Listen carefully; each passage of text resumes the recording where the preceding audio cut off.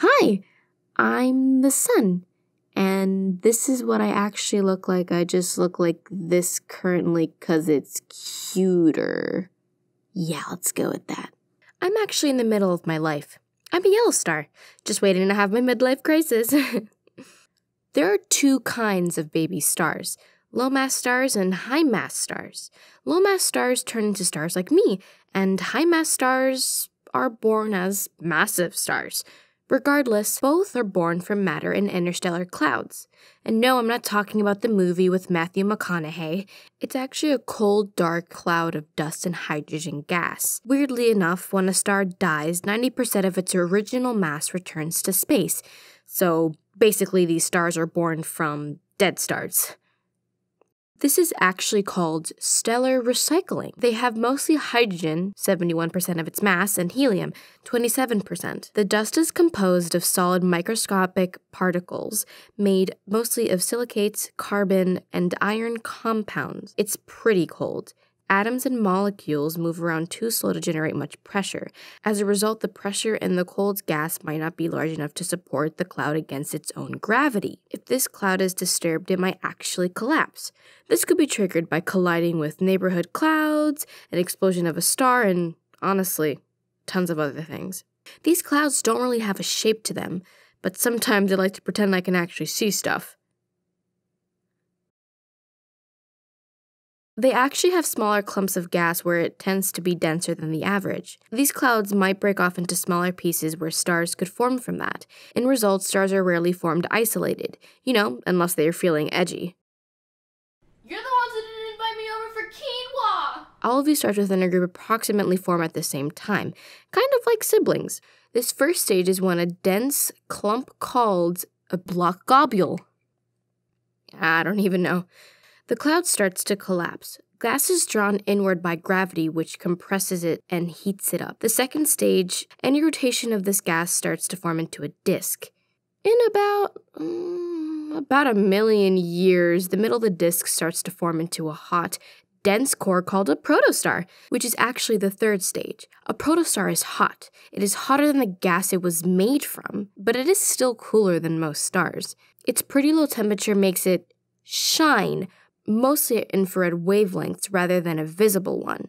The dust around it actually blocks most of the visible light. These protostars don't remain so cool for long. Gravity continues to bring in the surrounding material into it, and it gets denser and denser and hotter and hotter as this continues. When the core of the protostar reaches 1 million Kelvin, some nuclear reactions begin here.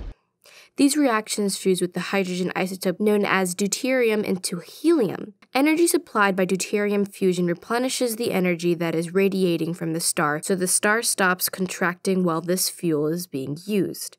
Once the deuterium is used up, the protostar resumes its contraction. A protostar passes through these stages in a very brief time compared to astronomical standards. This happens during a few million years for a star, like me. It's even less for a massive star. As the star continues to form, the infall material causes very violent changes in brightness and a strong outflow of gas. These are narrow jets of gas pointed in opposite directions called bipolar flows. It is called this because two jets are ejected parallel to the polar axis. We don't know what makes them so narrow. Well, I mean, I do, but I'm going to keep my secrets to myself. These are actually a pretty important role to cleaning up after the star has been born. These bipolar flows clear away the gas and dust around the protostar, so you guys can see it with visible light. Though the force of these bipolar flows isn't enough to push everything away, a lot is left behind. A lot of young stars immerse in interstellar matter. These stars often vary erratically in brightness. Sometimes they have streams of gas going from their surface, this is often in the upper atmosphere. I know it sounds like it's pretty similar to the bipolar flows, but it's actually more like solar wind, but way more intense. Young stars that show light similar to outflowing gas is called T-Tauri stars. T-Tauri stars? Tita I apologize if I'm saying that wrong. These stars show some evidence of, of giant things that look a lot like sunspots and magnetic flares way more intense than our suns. We can see these spots through infrared telescopes, now, back to low mass and high mass stars. Most stars have a mass between 0.1 to 30 solar mass. Stars that are smaller than 0.1 are rarely seen because their mass is too small. Stars that are this small are often called brown dwarfs because of the dim red light emitting from them. Only recently we started finding them because of technology. High mass stars are actually rare for a different reason. As gravity squeezes them, they quickly become extremely hot and bright. They're so hot that they heat up the gas around them, raising the pressure and actually preventing additional material to fall into them.